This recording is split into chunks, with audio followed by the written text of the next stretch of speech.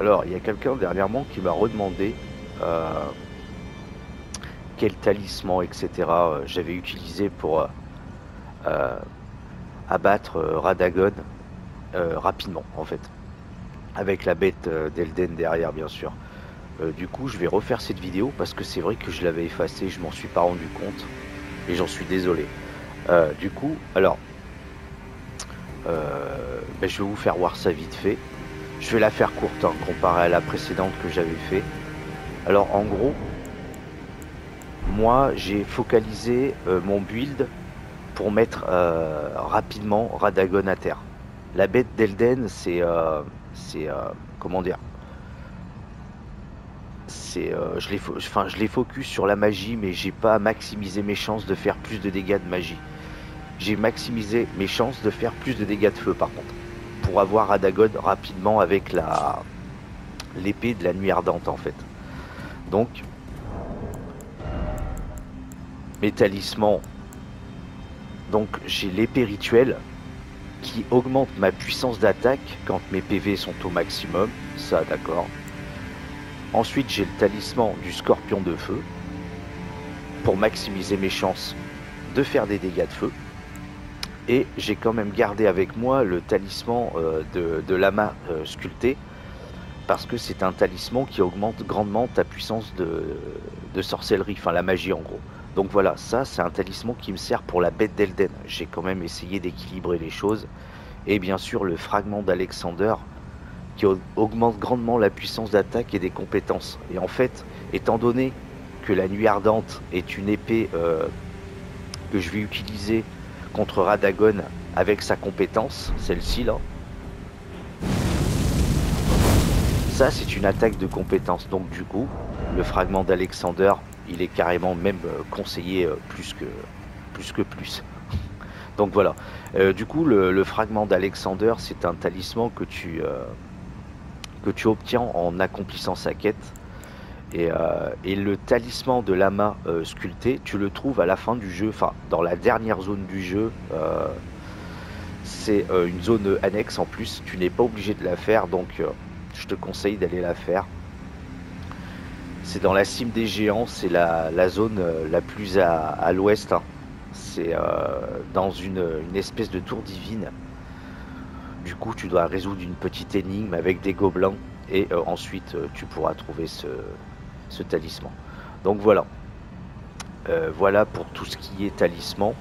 Ensuite, très important, euh, la fiole de salut miraculeux. Euh, du coup, là pareil, j'ai équilibré le build. J'ai mis la larme fissurée voilée de magie pour renforcer ma magie.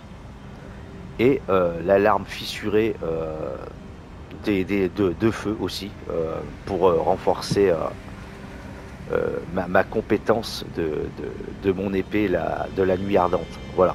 Du coup, quand utiliser la fiole euh, de salut miraculeux, moi je l'utilise juste avant de rentrer dans l'arène. Comme ça, je sais que Radagon, euh, j'y mets un terme rapidement. Malheureusement, euh, des fois, l'effet ne marche plus quand tu arrives sur la bête euh, d'Elden. Mais si tu es rapide euh, avec Radagon, tu peux arriver avec encore un peu de d'effet euh, de la fiole euh, miraculeuse. Voilà. Du coup, après, pour, euh, pour, la, pour la bête d'Elden, bah, je vous avez vu, j'ai utilisé les, météorites. hein. Je vais vous faire voir. Sans mémoriser. Donc j'ai utilisé ce ce sort. Alors attendez, putain, faut que je le retrouve. Je suis un peu perdu. Où est-ce qu'il est? Merde, je l'ai plus. Où est-ce qu'il est ce sort à la con? Bah, c'est une blague.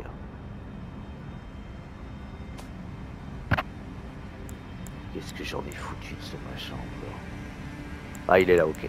Voilà. Les météorites d'Astel. Voilà. Donc ça, c'est pareil, c'est un sort. Quand tu l'incantes, euh, t'as une chance sur deux que ça passe.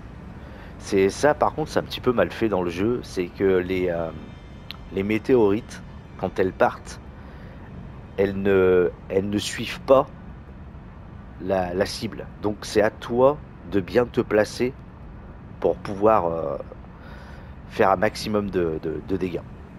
Donc voilà, si tu vois que tu, as loupé ton coup, malheureusement, euh, ça va être très compliqué derrière parce que la bête d'Elden n'arrête pas de bouger après. C'est compliqué, c'est très compliqué. Mais euh, si tu es malin, si tu fais ça correctement, tu, peux y arriver. Voilà. La, bête d'Elden aussi craint énormément ce sort. Je vais te le faire voir. Je te, même, conseillerais même, si t'as pas l'habitude de jouer avec les météorites d'Astel, de prendre ce sort là. Voilà. La spirale d'éclat, ce sort par contre va suivre la cible et, faire énormément de dégâts. Mais vraiment, ça fait beaucoup, beaucoup de dégâts. Le combat est un peu plus long, mais c'est beaucoup plus sûr. Voilà. Surtout ne prends pas la comète d'azur, tu vas louper ton coup, c'est c'est voué à l'échec total. Donc voilà. Euh, ensuite, dans mes sorts, juste avant de rentrer aussi dans l'arène, j'incante le serment doré pour renforcer mon, mon attaque. Et euh, flamme renforce-moi, bien sûr, pour euh, augmenter mes dégâts de feu. Donc voilà. Le build est beaucoup axé sur les dégâts de feu. Je l'ai un petit peu équilibré avec un dégât de, des dégâts de, de, magie. Donc voilà, j'ai essayé de, faire un build un petit peu qualité avant de rentrer dans cette arène. Donc voilà, j'espère que ça t'a aidé. Je peux pas faire mieux, euh, je peux pas faire plus long et je peux pas faire plus court. Donc voilà, faudra se contenter de ça. J'espère que ça t'a bien aidé. Allez, je vous dis à bientôt et euh, amusez-vous bien. Ciao.